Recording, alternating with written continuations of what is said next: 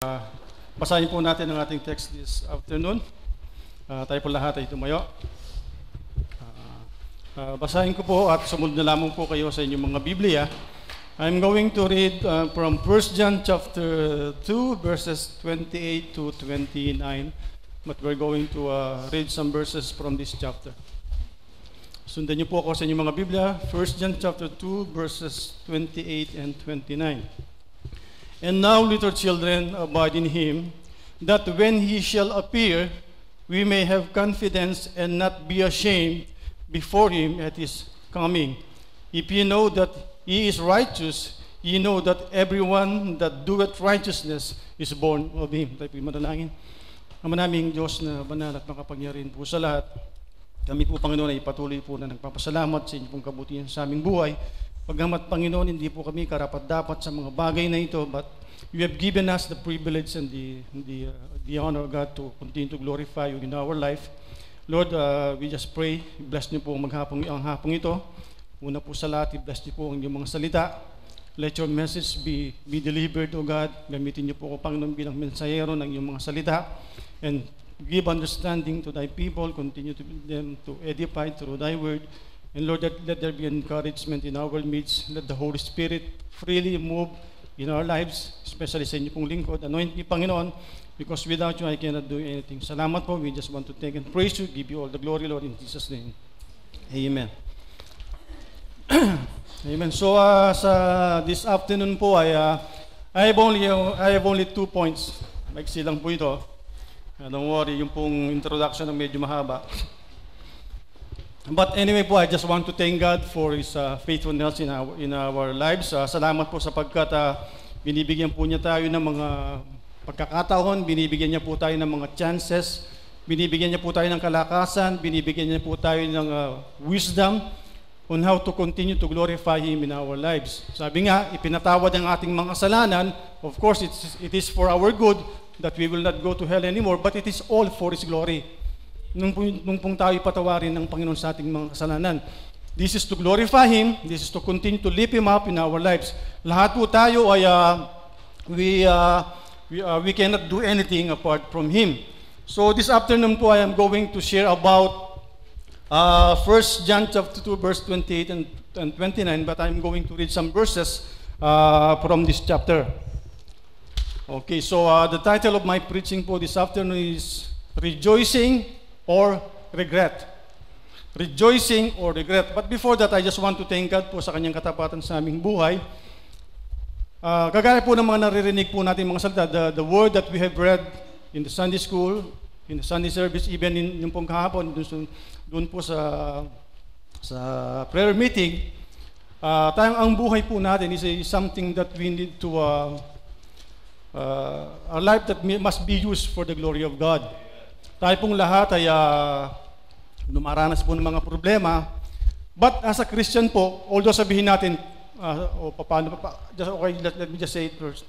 Minsan, bagamat dumaranas po tayo ng pagsubok, problema sa buhay, but the things that I need, we need to know is that while we are still on that state, we must glorify God. Halimbawa kung bakit, bakit ka ba, Brother Alex, masaya ka ba? Kayo ibang mga preacher, masaya ba kayo pag dumaranas kayo ng pagsubok? Hindi. Sometimes we get discouraged. Sometimes we get weakened. Pero alam niyo po isang bagay po, the reason why I'm telling you this, it is because of this. If you are a Christian and you're suffering from a problem, or you have a problem, you have a need, you have crisis in your life, the reason why you are still on that state, let us glorify God because one day, because you prayed for Him to answer your prayer, minsan na po, mawawala na lang yun. Parang hindi mo tinake yung chances na while you are having your problem, you are not glorifying God. Whether in may problema tayo o wala, we need to glorify God. Minsan po, dumaranas po tayo sa ating buhay, pag walang-wala na po tayo, wala na rin pong makita sa mukha natin. Amen po ba yan? Sometimes when we don't have finances, yung kapa, parang yung... Sige po. Okay, thank you po. Parang po bang yung kapayapaan natin nawawala na rin? Di ba? Pag wala ka ng pera, kasi most of the time, pag pera ang wala, ang, ang mukha natin mukhang palayan eh. Sa totoo lang, di ba? And sometimes we don't have the chance to praise God in our life. Sabi ko nga sa inyo, bagamat biro po yung ano namin, yung sabi ko nga, yung si Brother John nga, nag, nag, sa, sa group po namin, he chatted that Brother Neil is like this, na gano'n na siya, ganito, ganito. And then, hindi ko po nabasa yon. But I still pray. Alam niyo po, that time, to be honest with you, yung, yung ano po naming mag-asawa, para po yung kandila, o hindi po, kandila kasi kandila, pantayan po yun eh. Parang yung pong gasera na andap-andap na lang. But you know what? I thank God. You know why? Kasi po, yung kapayapaan ng Diyos, hindi niya tinanggal. We may, that time we may not have money, we may have problem, but if we have Christ, we have everything. Ito po ang isang bagay po kasi sa buhay natin, sabi nga ni Pastor, baka, sa, baka, baka hindi na, ituloy yung ano namin. So, pero alam niyo po, I have already prepared myself. Hindi yung mawawalan eh. Hindi naman mawawala ang Panginoon eh. Meron pa rin pong gagamitin ang Panginoon. Gawain niya to. Just so I'm just trying to, to tell you that, siguro okay lang na mawala yun, wag lang si Kristo sa buhay po natin. Sabihin natin, napakadaling sabihin. Oo, madaling sabihin, pero alam niyo po, doon din tayo tinitignan ng Panginoon kung gaano tayo nagtitiwala sa Kanya. How we, how we cast our burden before the Lord. Especially po ito pong share ko sa inyo ngayon, the title is about rejoicing or regret. Are we going to rejoice when the Lord comes or are we going to regret when we face Him? I am going to talk about, ito po about Bema judgment, yung haharap na tayo sa Panginoon. That we are going to be, uh, to, to be presented dun sa judgment seat of Christ. Tayo pong lahat, if you are a saved person, tayo pong lahat ay harap sa Panginoon. And if you are going to study 1 John chapter 2, this was given, the command, the instruction to the believers of the Lord Jesus Christ. And in verse 28, yun nga po yung binasa natin kanina, that we are going to face the Lord in our life. Mararanasan po natin to whether we like it or not. Here, ang sabi nga po rito, when we had been given, tayo po kasi we had been given a command. Before natin, parang ganito po yan. Parang ganito po yan. Okay, ang sabi po naman most of us are teachers. Parang sasabihin natin sa mga estudyante natin, okay, we're going to have exam on this date, o sabihin natin on Friday, eh Monday pa lang. Parang ganito, okay, you still have uh, four more days to review, di ba? Why we are giving the reviewer to the students? For them to pass the test. Yun ang motive natin, di ba? The reason why we give the, the, the reviewer, why we review the students, it is because there will be an exam on Friday, and so that when they review, they, they might pass the test. Same thing with us. Ang sabi ng Panginoon, I will be coming again. I will be coming again, but I am giving you now the review. What is the review? The Word of God. Ito po, dito natin titignan. We are going to read the manual, we are going to read the Word of God, so that when we face God, we will not be ashamed. You know, this is the sad thing that we need to, it is sad thing. Isipin mo, and there will be, because there will be tears in heaven. Ang sabi po rito sa verse 28, And now, little children, abide in Him, when He shall appear, we may have confidence. We will have confidence when we abide in Him. But if we will not, ang sabi po niya rito, and not be ashamed before Him at His coming. Ibig pong sabihin, when we face the Lord, there will be a simple moment that will happen if we will not obey God in our life. So here, the review or yung pong uh, dapat natin gawin is already given now. We have the chance. We have the chance. But the problem, are we, are we reviewing now? Are we reading the Word of God now? So that when that day, we will not be put to shame. Whether we like it or not, alam niyo po mga kapatid, when we face Christ, if we did not follow Him, and we just neglected Him as a Christian, there will be a simple thing that will happen on that day. Tayo pong lahat, alam po natin yan. But the thing is this, kung mamaya po, bibigay ko yung mga verses sa inyo, if we are going to study the Word of God, if we are just going to study the reason why we have problems, the reason why problems are harder, the reason why we cannot live for the Lord, the reason why we are get weakened, The reason why we get discouraged, you know what? What is the problem? Isa lang ho. Although, isa ito sa major, a major thing that, that we need to do. We are neglecting the Word of God. Kasi po, when we read the Word of God, we will have wisdom, we will have knowledge on what to do on things. That's why hindi nyo napapansin ang sarili mo. Minsan, hindi mo na alam kung anong gagawin mo kasi wala kang alam sa Word of God. Wala kang panlaban. Yung pong sinasabi ni Pastor noon, the Word of God or the Logos or the Rhema, hindi po ito mahabang espada. It is a shorter one. It is a dagger. That when, when you use that, it will inflict wound to that person. Ganon din po ang Word of God. That we need to study the Word of God in our life. So that when we face the enemy, we can inflict wound on him. Sabihin natin malakas pa tayo, no, that's why we trust in the Lord. If we will not trust in the Lord, we cannot do anything. Same thing with this po. The Lord said in verse 28 or John, John verse 228, there will be an appearing before the Lord. Tayo pong lahat ay haharap. Now the question is this. If we are going to face the Lord, are we going to allow ourselves to have regret on that day or are we going to rejoice? Rejoice is definite. Alam niyo po, sa totoo lang, ang rejoice, ang rejoicing po rito, definite po ito. Why? Because we're going to see the Lord. But the regret, the regret is optional. Oh, paano naging optional? Kasi the reason lang naman magkakaroon ka ng regret sa buhay mo pag hinarap, humarap ka sa Panginoon kasi hindi mo ginawang dapat mong gawin.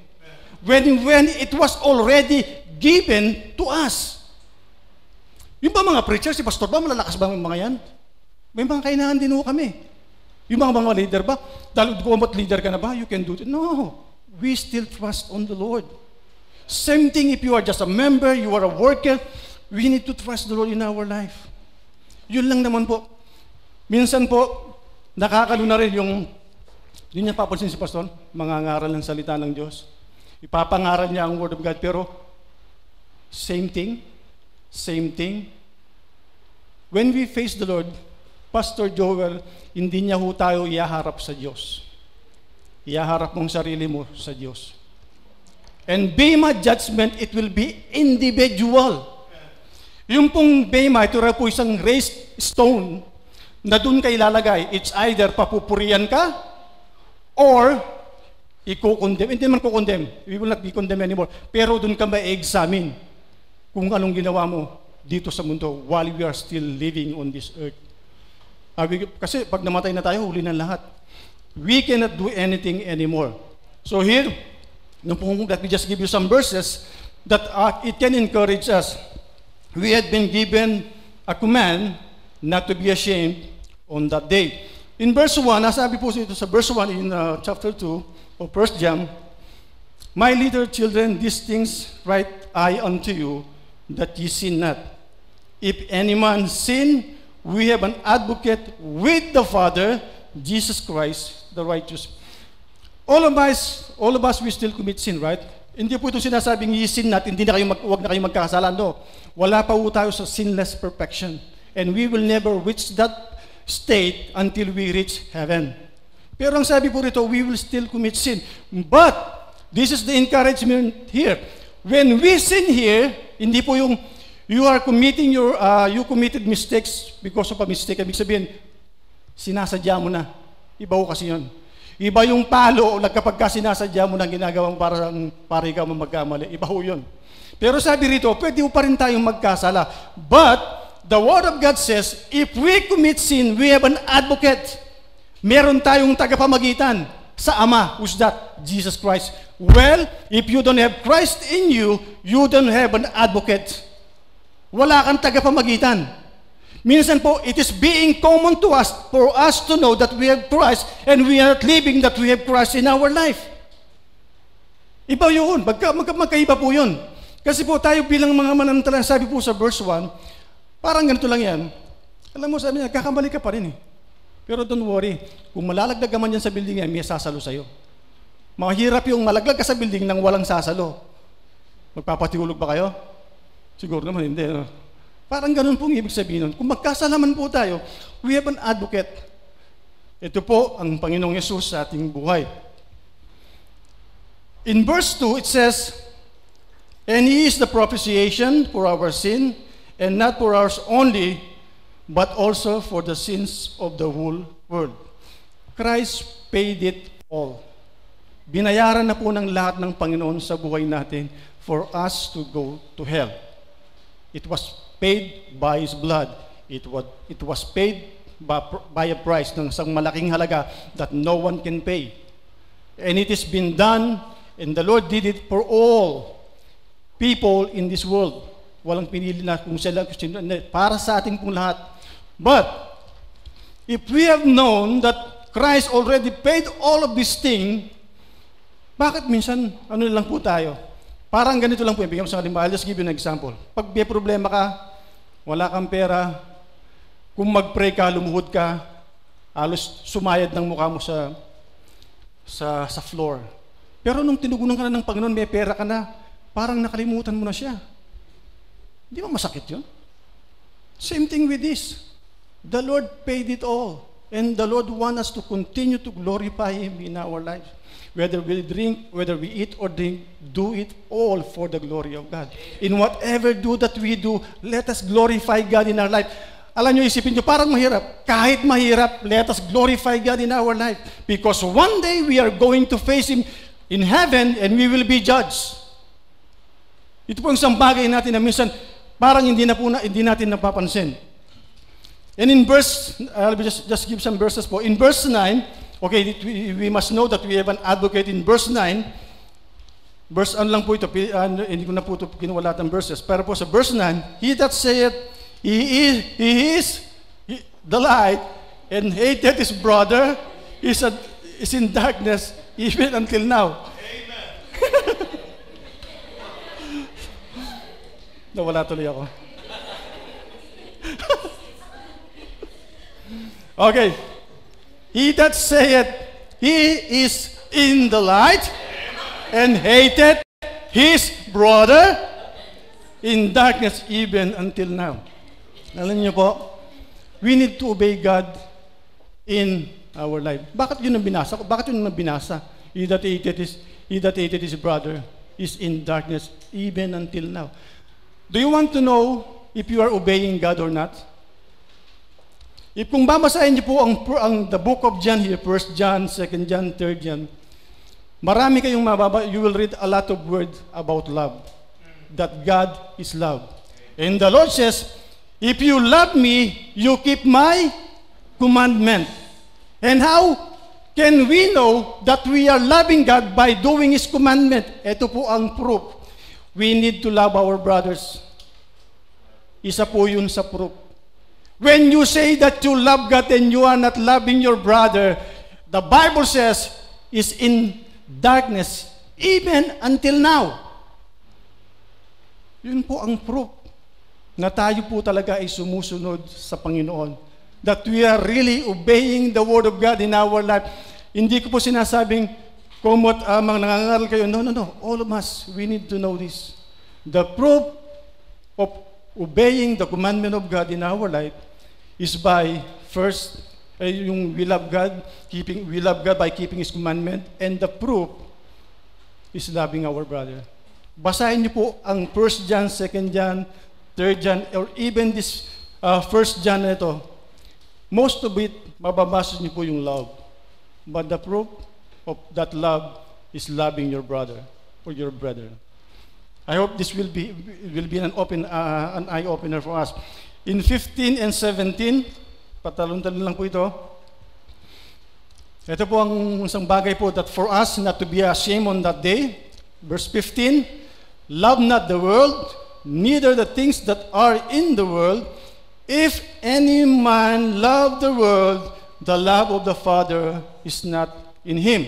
Verse 16 For all that is in the world, the lust of the flesh, the lust of the eyes, and the pride of life, is, is pride of life is not of the Father, but is of the world. In verse 17, And the world passeth away, and the last thereof. But he that doeth the will of God abideth forever. Hindi po makikita po natin sa ating bilang mga manda, we were commanded not to love the world. You know anong pang consequences nito? One thing, hindi lang po dito. Even when we face the Lord by loving the Lord. God is a jealous God. He is a jealous God. He is a terrible God. Ang Diyos po makapangyarihan, no, no one can stop Him. Sabi niya, eh, di ba nung si Peter, eh, ngayon sa inyo kung gagawin ko to? When he answered, I think it's, it's Peter. What I'm trying to say is this po. God is a jealous God. And if we are going to love the world, this thing will give us shame when we face the Lord. Ang sabi ng Panginoon, ang gusto kasi ng Panginoon, sa Kanya lang tayo. You just want, you just want all of us. You want our soul, spirit, and body. Because, and because He is worthy. But if we, this thing will happen to our life, isang bagay po that will be, it will be a, a way for us that when the Bema judgment of God will happen sa atin, it will put us to shame. And we will regret it. We are going to regret that. Verse 18 and 20, we were given warnings. Nabigyan po tayo ng warning. Ang sabi po rito, verse 18, Little children, it is the last time, the last or the last hour, as ye have heard that the anti Antichrist shall come. Even now uh, are there many Antichrists, whereby we know that it is the last time. They that they went out from us, but they were not of us. For if they had been of us, they would no doubt have continued with us. But they went out that they might be made manifest that they were not not all of us. Hindi sila sa atin, yung mga umalis niya yun. Minsan magtataka kayo, the preacher are so judgmental. No, this is what the Word of God says. Kung hindi po sila nagpatuloy, they are not of God. But here in verse in verse 18, we were given a warning that there will be a last time. Alam niyo po, I don't know if you are observing that the, the, the, the signs from the Bible, the signs from the second coming, not from the rapture, are so, kitang-kita na po natin. They are imminent. Although it was that happened before, but it is much more now sa panahon po natin. Look at the technology, how kung gaano po ka-high-tech ang technology ngayon. Sometimes we are not just being aware, but if you are just going to be aware of this, kung babasahin po natin ng Biblia, the coming of the Lord, malapit na. How much more? Kung nakikita na po natin yung sign ng second coming, eh meron pa pong tribulation ng seven years. It will be earlier than seven years. Alam po natin yan. But we were given a warning. But now we were given a warning that it is the last time. Ito, yung, ito po yung last time na parang this is the last hour. Ano pong ginagawa natin bilang mga mananampalataya? Are we just sitting? I, I, I always say this. Ano po ang dahilan para hindi po kayo maglingkod sa Panginoon? Why not take the chance now? Why not give your life now to the Lord?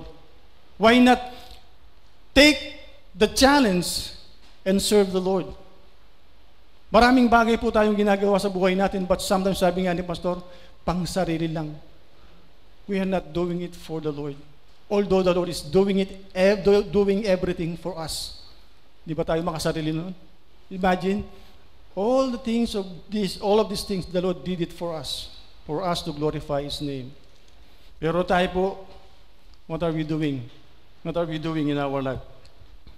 And here in verse 28 po, and I'll be giving two points here, in verse 28, And now, little children, abide in him, that when he shall appear, we may have confidence and not be ashamed before him at his coming. Here, are we really watching and waiting for the coming of the Lord? To be honest lang po, huwag niyo pong sagutin na oo, hindi ngayon. Sagutin niyo po sa isipan niyo. Are we really watching and waiting for the Lord? Iba po yung watching, iba po yung waiting. Magkaiba po yun. Yung, yung watching, yung, uh, yung watching, yung parang hinihintay mo lang. Parang nandun ka lang. Parang yung story po ng apat na sailor. There are four sailor, they went on the sea to, uh, to catch fish. Yung pong apat na to, uh, siguro at I think a week, nagano po sila. They went to the sea to catch fish nga po, and to, because that is the way of living. After five days, alam po ng mga asawa nila na darating na po sila. And the three wives of those, um, those four fishermen are already there. But the other one, yung asawa po niya, nandun sa bahay. Is watching, waiting, watching po siya para sa pagbabalik po ng kanyang asawa. Then, when he arrived home, he said, Oh, oh yan, nandito ka na pala. I am, I am watching for your coming. I am, actually, pa kasi waiting. I am watching for your coming. Sabi niya, mas maganda sana if you were there. So that while we uh, watching, when you can wait for, for, for my coming. Parang ganito ibig sabihin. Minsan po kasi tayo, we're just watching. But we are not really waiting for the coming of the Lord. Are we really waiting for His coming? Are we excited for the coming of the Lord?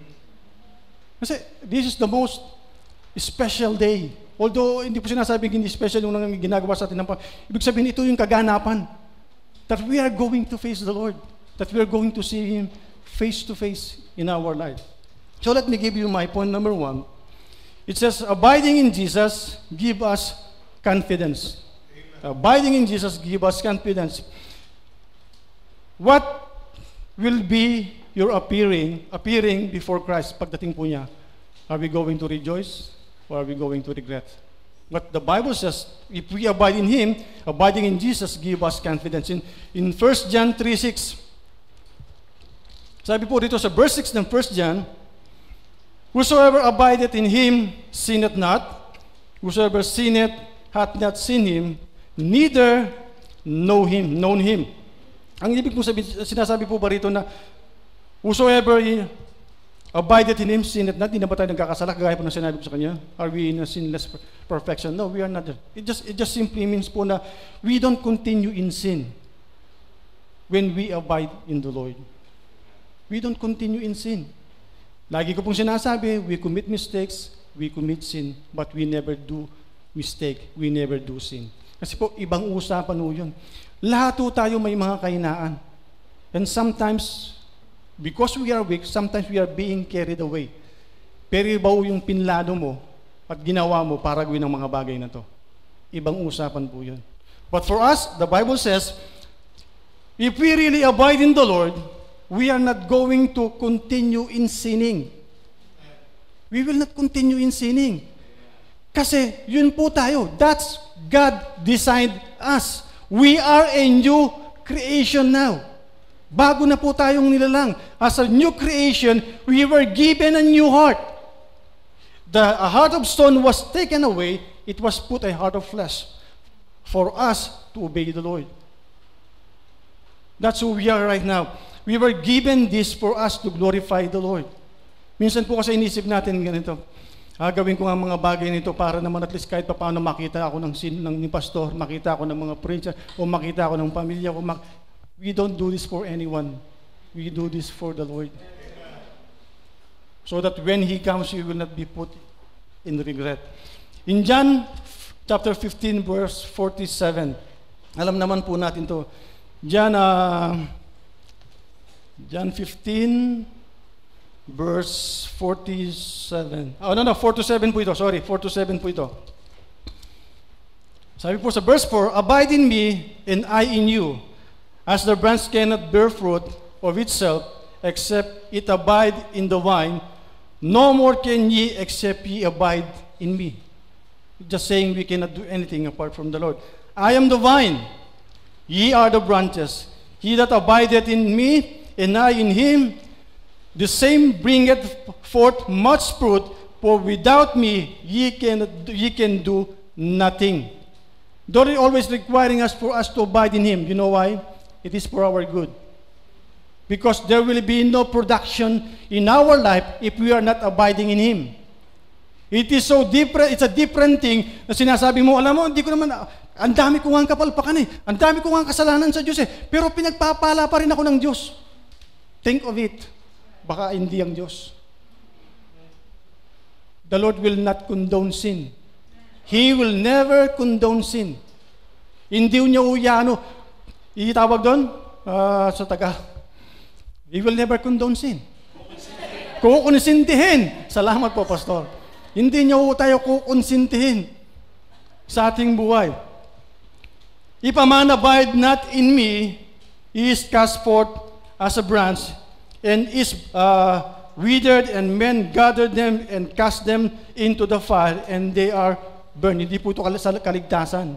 Hindi po yung nawawalang kaligtasan natin. Sabi nga ni Mar- This is something that we will, if we are not going to abide in the Lord, there's nothing will be, there's nothing that we can do na mag, mag, uh, magpa-prosper. It will never prosper. If we lose that, sabi nga ng pastor, yung testimony po natin. Alam niyo, isang bagay po sa buhay natin, our testimony is very, very important. Di ba? Ewan ko si Preacher Joe ang nagsabi po nun. Here, they do not know the Bible. When we share to them, they will think we are just a religion. But they are looking at us. Kung ano ang buhay natin na ipinamumuhay. Kapitbahay natin, kasamahan natin sa trabaho, what are they thinking of you? O sa atin bilang mga mananampalataya, we are sharing gospel, we are sharing Christ to them. So ano pong nakikita nila sa atin? Pero I'm not trying, I just want to tell, I just want to say this na tayo po alam ng Panginoon. When the things that we do for Him, He will be the one to prosper it, not us. So wag po tayong mainip. Wag po tayong mainip. God will be, do, be the one doing something for us to glorify Him. In verse, verse 2 to 6 po ng 1 John. 2, 6 pala, 2, 6. It says here in 1 John 2, 6, Okay. He that saith he abideth in him ought himself also to walk, even as he walks. Sino yung he walk? Ang Panginoong Yesus. That we need to walk as he walk. As he walk. Ang buhay po natin, ang ginagawa po natin, bilang namumuhay, bilang mananampalataya, while waiting for Him, we are doing what He is doing. We are doing what the Lord is commanding us. We are doing the Lord, dun po sa mga instruction niya po sa atin. Kaya nga po, it's hard to live this life when we do not know the Bible. It is very hard. Kasi po, this is the thing that we can have for us to know where we are going bilang isang mananampalataya. And if we will not walk the walk of Christ in our life, there will be no glorifying in His name. And we will be put to shame, and there will be regret when we face Him in our life. So I hope and I pray makita po natin ang kalagahan po ng buhay natin sa Panginoon. Kasi po, masyadong nagiging common. Masyadong nagiging common ang naririnig natin ng Word of God. Sometimes they don't have life anymore. Napansin niyo po ba yon? Parang wala nang buhay ang salita ng Diyos sa atin, na kapag narinig natin ang Word of God, papasok dito, lalabas doon, and alam nyo, mas masakit po pag wala pang even maliit, maliit na conviction sa atin.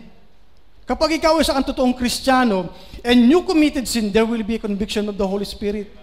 And He will be the one to convict you. And He will be the one to strengthen, strengthen you. Itutuwid ka niya, tutulungan niya. Why? Because He loves you. He loves us because anak po niya tayo. I hope it will not be a common thing for us to know that we have a relationship to God. And that relationship will bring us to heaven. Heaven, a thing that we're going to face God and He will judge us.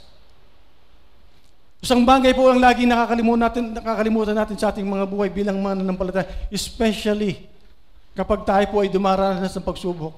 Inietsera puwera po natin ang Panginoong Jesus. You know, minsan parang itatapon mo lang si Kristo sa buhay mo. Kung pwede mo lang siyang hubarin, uhubarin mo siya. Ah, that's the truth. That's the, that's the truth. Kasi nagiging common na po sa atin buhay ngayon, kapag sinabi natin darating ang Panginoon, we need to prepare. Have you seen the ten virgins? Di ba yung lima, nag-prepare na sila, naglagay na sila ng oil. Yung lima hindi, they are foolish. Why? They did not prepare for themselves for the coming of the bride. Are we preparing for the coming of the bride ng ating Panginoong Isus? This is the sad thing, sad thing in our life. Kasi po, sana naman po, wag. Lagi na lang, kapag, di ba sabi nga ni Pastor kahapon, kahapon ba yung kanina? Kapag lagi na lang natin naririnig, nagiging common, paulit-ulit, nasasanay na tayo.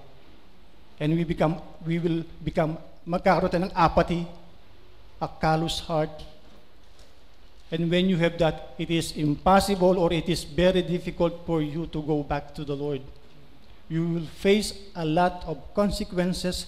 You will face a lot of difficulties before you reach the Lord again. Kasi hindi naman siya ang lumayo, ikaw ang lumayo. For you to go back again to the Lord, it will be very difficult. Mahirap po. Mahirap yun. Sabi nga po sa inyo, I just, just before, when the Lord disciplined me, I prayed, I prayed, ganito po yung panalangin ko. Sabi ko, Lord, I know I committed sin. I know I committed mistakes. Nag-disobey ako sa inyo. What I pray is this, Lord, whether you help me or not, Now I am going to take the consequences. Now I am going to take this chance to go back to you. Pero hindi ho naging madali. I counted years. I counted years. Kasi parang naging nasanay na ako na binubulungan ako ng Holy Spirit na to do that, the Word of God is saying that, binabaliwala ko. Until my heart become hardened. Hindi po yung hardened na talagang practice, meron pa rin ang conviction ng Holy Spirit, pero I face the consequences. Sana huwag po tayong dumating sa ganung bagay kasi po, I hope it's not yet too late. Kasi sa Panginoon po, laging nandyan po yung chance. Always take the chance before you face that no more chance. Mahirap po yun. Okay. In uh, first, second John chapter 1 verse 9,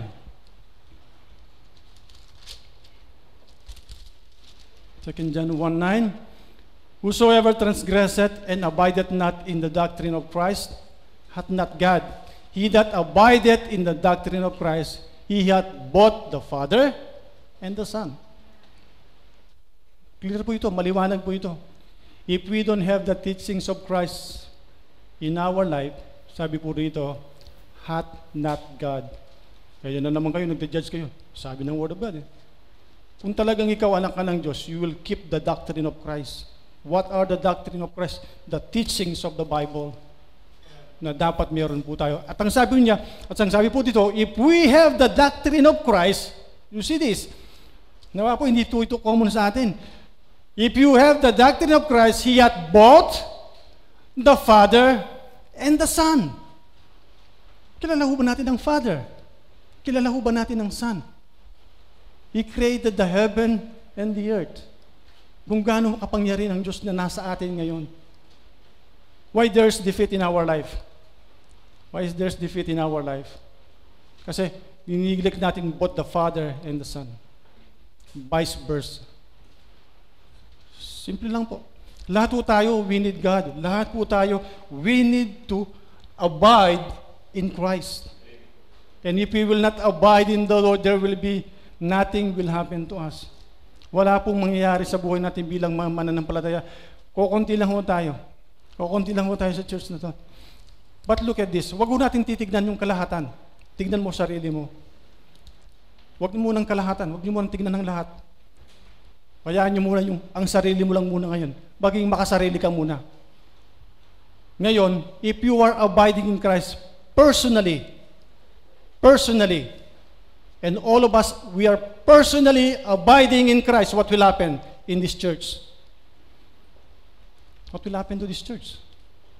If if I abide, pastor abide, the preachers abide, you abide, magkikita ho tayo sa isang lugar. That is unity. Yun po ang unity. Why the reason why we cannot see each other on that? It is because not all of us are abiding in the Lord. I am not condemning you. I am challenging you right now.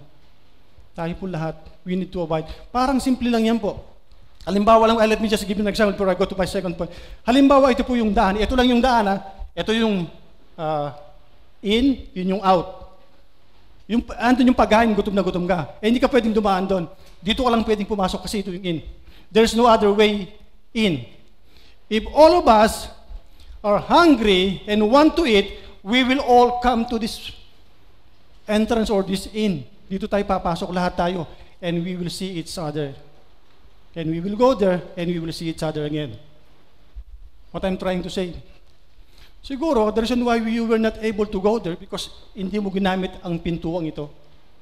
You did not go in to this entrance. Kaya nga, wala ka dun. Same thing with the Lord.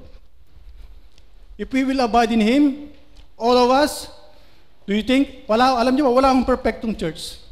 If there is a perfect church, when, we are, when you are there or when I am there, hindi na perfecto. But, there, there is a big possibility that there is a united church. But if we, we can only do that if we abide in Christ. If we, not, we will not abide in Christ, lahat tayo may kanya-kanyang daan na kung saan God will not be glorified. Let me go to my second point and the last point. My second point, ang sabi po rito, confidence brings us no shame when we abide in Him. Confidence brings us no shame when we abide in Him. When we, when we have, yung pong confidence na to, it can only happen when we abide in the Lord. And when we abide in the Lord, there will be no shame. There will be no regret. There will be no regret. I hope and I, I pray, nauunawaan po natin to. That one day we are going to face the Lord. And I hope and I pray it will not be a shame. In Ephesians chapter 3 verse 12, it says, In whom we have boldness and access with confidence by faith of Him. Isipin niyo po ito, we have boldness and we have the access. Yung parang yung ganito, yung parang sa computer, di ba yung pag hindi nyo alam, pag hindi nyo alam yung password, ano sasabihin? Access denied. Access denied. Pero pag alam mo ang, ang password, ano mangyayari? Di ba? Makakapasok ka. Same thing with the Lord. We have access with the Father. We have access with Him because of the Lord Jesus Christ. Pero kapatid, that is the confidence that we need to know that we have the Lord in our life. Meron po tayong Kristo and we are confidently can trust the Lord when we abide in Him. And I hope and I pray we understand that. 1 John chapter 3 verse 21. John 3:21 It says here, Beloved, if your heart condemn us not, then have we confidence toward God. Kung pag-aaralan niyo po ito, ano po ang ibig sabihin nito? Masarap humarap sa Diyos pag wala kang kasalanan. Di ba? Pag hindi ka guilty, kami yung talagang pakiramdam mo, ginawa mo yung kalooban ng Diyos, and then nag-pray ka, nararamdaman niyo ba yun? Minsan ba na-experience niyo ba yun yung confidence na yun? That when you go before God, but, Father John, can you please go back to verse 20? Look at verse 20. Sabi po rito, For if our heart condemn us, God is greater than our heart, and knoweth all things. But look at the first line. For if our hearts condemn us, bakit ka kinokondem ng puso mo? Kasi hindi ka sumunod. Simple as that. Pero sabi ng Panginoon, don't worry, sabi niya, kung nakakaramdaman tayo ng condemnation sa ating puso, sabi po rito, God is greater than our hearts. So if we committed mistake, we can trust God, we can ask forgiveness in Him.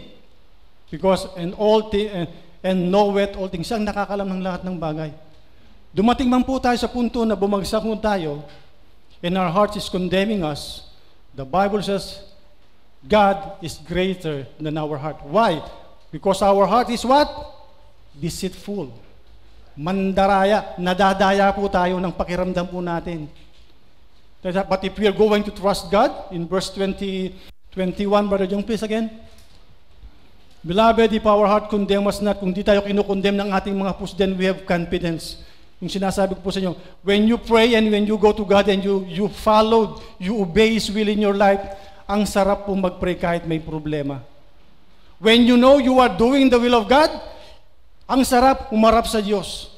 Pero kapag ka, puro kapalpakan ang ginagawa mo sa iyong buhay, parang ang hirap humarap sa Diyos. Why? You know, you know, want to know why? Because God is holy and He is not happy with sin. That is the reason why we are being condemned by ourselves, not God. Hindi po tayo kukondemn ng Diyos. There is no more now condemnation to those who are in Christ Jesus. The reason, the, the reason why are being condemned, because yourself, your sin, your disobedience to God condemn you. And that can be the tool of the devil for us to be weakened and be discouraged. Yun po ang ginagamit ng demonyo sa buhay natin. But if we, we do the will of God, parang ang sarap, para kang lumilipad sa air. Kumbaga sa ano, kumbaga ano lang po yun. Pero ang sarap po talagang humarap sa Diyos nang hindi ka guilty. I know you know what I'm trying to say. 1 John 4.17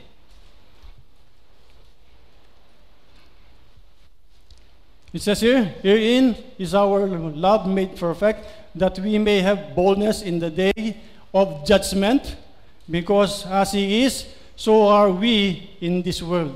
Sabi po rito, herein is our love made perfect, that when that we may have boldness in the day of judgment. Isipin yun, how can you have that boldness in the day of judgment? Hindi ho ito kamukha lang lang, hukuman ka na sa isang hukuman at sasabihin sa'yo, ganito ka, ito ang sintensya mo. But here, when we face the judgment of Christ, there will be boldness. Ano bang ibig sabihin ng bold? Yung andun ka, yung panatag ka. Hindi ka, hindi ka guilty. Hindi ka magre-regret. Because, why? Because we have Christ in our life. We have that confidence in our life because of the Lord Jesus Christ. And it will not be a regret anymore in our life. In 1 John 5, 14, Kapit na po tayo matapos. 1 John 5.14 And this is the confidence that we have in Him, that if we ask anything according to His will, He heareth us. Our team now is prayer. When we hear, it means to say this is prayer.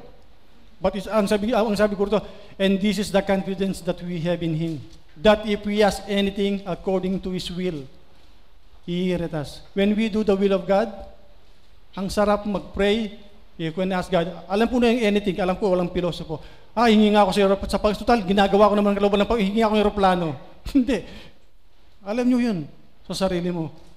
But anything we ask from the Lord, if we are doing His will, parang sa panganak, dali lang. Parang ganito lang po yan. Pag ang anak, mabubuting anak, sumusunod sa mga magulang, madaling maglabas. Pero pagka, eh, kala ko, pero kapag ka parang mahirap sumunod ng mga, mga, anak, parang hirap bumunot, di ba? Parang hindi na just lapid ang ano eh, parang ano na eh, parang may belekoy sa loob. Alam niyo ba 'yun? Parang may belekoy, belekoy sa bulsa. Nalagkit, ayaw lumabas nung ano. Same thing with the Lord. Ganun din po sa Panginoon. You will never condone sin. Sabi sa'yo ng anak, anak, sige, turuan muna kita. Itutuwid muna kita, anak. Something like this, we are praying for the Lord for blessing. Do you think It will be easy for God to give the blessing? Yes. Pero bago niya ibigay ang blessing, tuturuan ka muna niya. He will teach us. Why? Because we, we are going to do this for His glory. Kaya iniingatan niya po ito. For our good, for His glory. In 2 Corinthians chapter 5 verse 10 po, since we know that the Lord is coming, let us be reminded of this verse. 2 Corinthians chapter 5 verse 10, For we must all appear before the judgment seat of Christ, that everyone may receive the things done in his body according to that he hath done, whether it be good or bad. Sabi nga ni Preacher Jong, hindi ito yung about kasalanan. Tayo po'y pinalaya na sa ating mga kasalanan.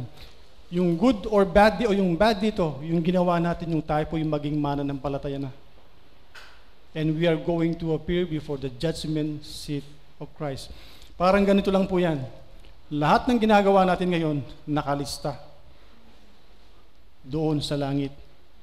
God is recording everything that we think, everything that we do, everything that we say, everything that we see, everything that we hear, everything that we touch, everything that we walk. Is this being recorded in heaven? Whether it is good or bad. Did you do that for the Lord? It is recorded. Did you, do, you did not do that for the Lord? It is recorded. Sa pa verse, last verse. 1 Corinthians chapter 3, verse 13.